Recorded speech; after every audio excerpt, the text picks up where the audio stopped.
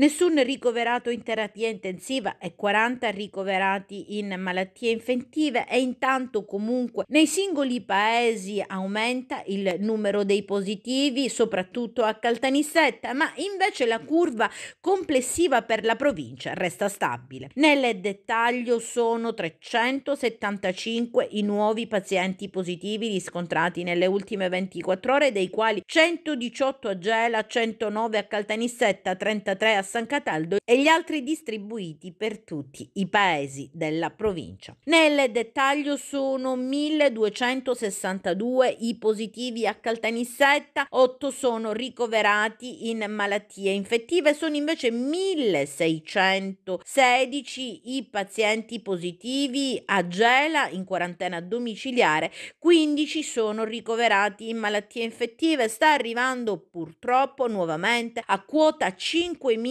il numero dei positivi in tutta la provincia sono 4.850 i positivi che in questo momento sono in quarantena domiciliare. Pare che si attenda un picco maggiore della curva nei prossimi giorni.